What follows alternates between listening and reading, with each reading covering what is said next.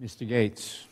Thank you, Mr. Chairman. There has been a cover-up regarding the origins of coronavirus. We see it in the Fauci emails. We see it in the G7's call today to renew an inquiry into those origins. We see it in the Biden administration's efforts to squelch investigation into the origins of the coronavirus. And I want to figure out what side the FBI is on. On April 28th, Dr. Li Meng Yan landed at LAX. One of your agents interviewed her at that time. She then traveled to New York. Your agent from Los Angeles followed her to New York and sought an interview on both the 1st of May and the 2nd of May in 2020.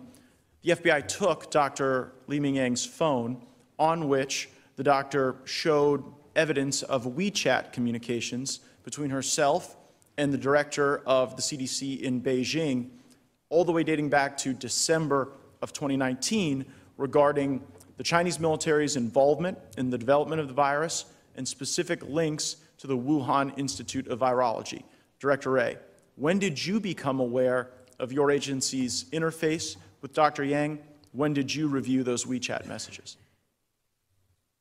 Um, I'm not sure that there's much I can say about any specific investigation. I will say that a couple things. One, um, as I think, I think you know, and I think the committee knows, I have been very vocal, and I intend to continue to be very vocal about the counterintelligence threat, which takes a wide variety of forms from the People's Republic of China and the Chinese Communist Party. And I think it's one of the most significant threats facing this country. Is and our Dr. future. Yan part of that threat? Well, I, I, again, I want to, don't want to speak specifically about any particular investigation. But the second thing I would mention is that. Well, here's, here's why that's important. On, on the first thing, Director A, you know, back in October, or in, you know, April and May of 2020, we didn't have six, nearly 600,000 people dead as a result of the coronavirus.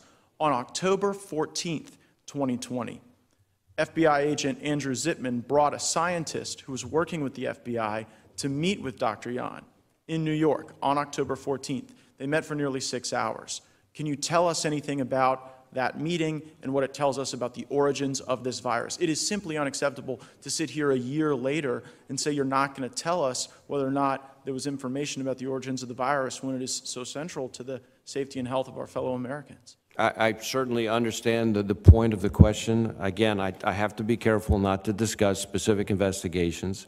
Um, I will say that in addition to our investigative work, uh, as I think has been recently publicly stated by uh, the DNI and I think even the President himself, the intelligence community has been looking at this issue. There are differences of view within the intelligence community about the origins of the coronavirus Totally and so understand all that. I'm, Uh, I'm and trying we're to resolve taking a- those a differences deeper with these dive on that questions, though. subject. Director it, it- we are unable to hold the Chinese Communist Party accountable if we throw our hands in the air and say, well, there's differences of opinion. We have to assess whether those differences are similarly rooted in fact. That's why I need the facts from you. Will you provide to this committee any scientific analysis that the FBI has done regarding Dr. Yan's claims, regarding the messages she provided to you, regarding Beijing's knowledge of the origins of this virus, their military's involvement, and even efforts to try to present to the world a fake genome sequence at the beginning of, of these developments? I'm, I'm happy to see what information we can provide. I will have my staff follow up with yours and see what information we can share on You the get subject. that if, if we don't look at that rooted information, we're unable to ascertain what differences of opinion are correct and incorrect. But it's hard to believe that the FBI didn't believe Dr. Yan was credible or significant because she lands on April 28th. Your agent, Dana Murphy, takes her phone that day. I'm holding the receipt from where you got the phone that had the WeChat messages that had very important information regarding Beijing and the Chinese Communist Party. And it's not every day that an FBI agent flies from Los Angeles to New York to follow a Chinese doctor who is a whistleblower and a fact witness. And even if Dr. Yan's technical analysis of the virus is incorrect, the fact that she showed up saying that she wanted to provide information and tell the truth seems significant today. Now, back when Dr. Yan made these pronouncements regarding the Chinese Communist Party, their military involvement, the leak of this virus from the lab, we had a number of people trying to discredit her. Are you able to ascertain whether or not that effort to discredit Dr. Yan is part of the counterintelligence efforts by the Chinese Communist Party? Again, I, I want to be careful both about what information we can provide in general about any kind of ongoing investigation, but also about what form that information would take, because in some cases, you may be touching on things that would be classified, and that might require a different format. So I, I certainly understand why you're asking the questions. Let me commit to you that I will go back with my folks and see what information can be provided and what form it would have to take if we can provide any. That would be very Gentleman's helpful. time Uh, is uh, ex- uh, the Mr. Chairman, gentleman's may I time be- is may I be expired, recognized? Mr. Deutch. Oh, wait, hold on, Mr. Chairman, you let everybody else go over for a minute. May Gentleman's I be ti- recognized just for unanimous consent request? The gentleman's time is expired, You're not Mr. treating everyone Deutch. equally, Mr. Chairman. You went over by more than a minute. Gentleman's Mr. time- Johnson went over by 45 seconds. Gentleman's I just time want is unanimous- expired, Mr. Deutch. What? I just want a unanimous consent request. Thank you, Mr. Chairman. You want a Uh, unanimous Director consent for what? first of all- To to get Oh, document oh, oh, record. okay, I'm sorry. Just a UC is all. Go ahead, go ahead, go ahead. Thank you, Mr. Chairman. I seek unanimous consent to enter into the record the receipt from the United States Department of Justice wherein Dr. Yan's phone was taken by FBI agent Dana Murphy. Without objection, uh, without objection, the gentleman's time has expired. Christopher Wray was uh, fr- flat out lying right there. And the, and the fact is, uh, he is an incompetent director. He was not qualified for this job. I think I'm you know, a huge Trump supporter, but I think it was one of the biggest mistakes uh, of the Trump presidency was putting Christopher Wray in there. And uh, I think he showed it, especially in this, his opening remarks that he made today, how biased he actually is, because everything that he said, especially about extremist violence, was completely sided to the left. Everything that had to do with any type of group that calls themselves patriots or anything that happened on January 6th was noted and, and displayed by his language as something that is far extreme with very little, if any, people that were there that, to be peaceful. And he made it sound as though the left is mostly peaceful with just a few things. Everything that comes out of this guy's mouth is pushed to the left, but it's subtle. So if you've been, you know, a prosecutor or a, a U.S. attorney, or if you've been in the FBI and you listen to his language, you can literally see this. And I, I, I think some of these congressmen and congresswomen actually saw this today, and I think they went after him, but he's not going to bend as far as that goes. I will tell you that I have spoken directly to FBI agents that are investigating January 6th, you know, um, issues, and ranging from individuals that uh, were in the Capitol to individuals who were not in the Capitol. One one thing that stands out, the the the most recent conversation I had with an FBI, FBI agent here in Salt Lake indicated he said he's never seen anything like this. They are given a mandate. They are to go out. They have been given the questions they're supposed to be asking. They have been given the way they're supposed to proceed on this case. They don't have individualized authority. It is all coming from Washington, D.C.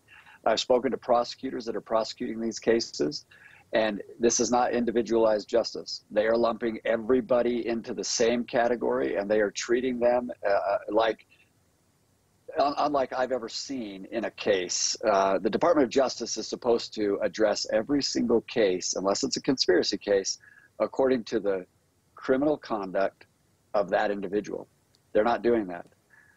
None of the prosecutors have authority. It's all coming straight from Washington, D.C.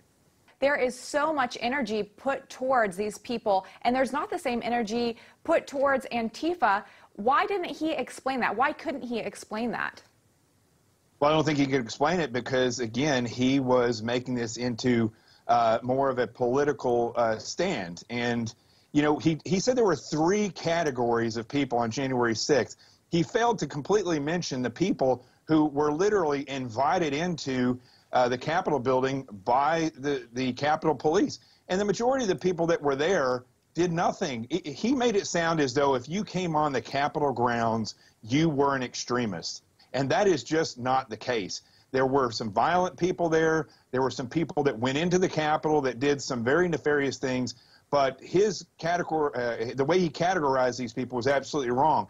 And the way that the FBI has systematically, as uh, Brett just uh, pointed out there, been told how to investigate January 6th, they've systematically been kept from truly investigating or going after the leftists. And that is so clear because of the way that there's just nothing going down about these individuals on the left. And I'll, I'll just say one other thing.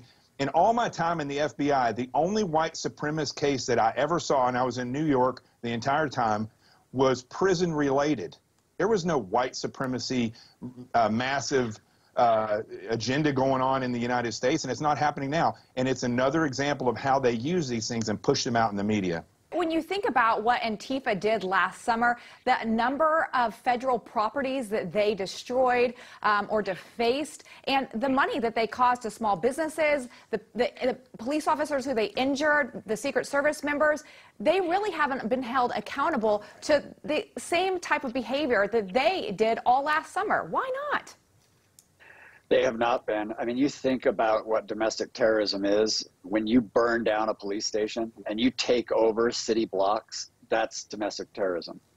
And they have not been held accountable. Uh, I'm ashamed to, to say that, you know, my my former office, you know, the Department of Justice, I, I wish I could see courage. I wish I, I could see U.S. attorneys standing up. You know, it's interesting. I, I represent an individual who um, went into the Capitol, um, was told she could go in, and was actually pointed by a security guard to the direction she should go. And she's being prosecuted. She's being charged with uh, misdemeanors. She she has no criminal history. She thought the only other Capitol she's ever been in is a state capitol that's open 24/7. She thought you could walk in.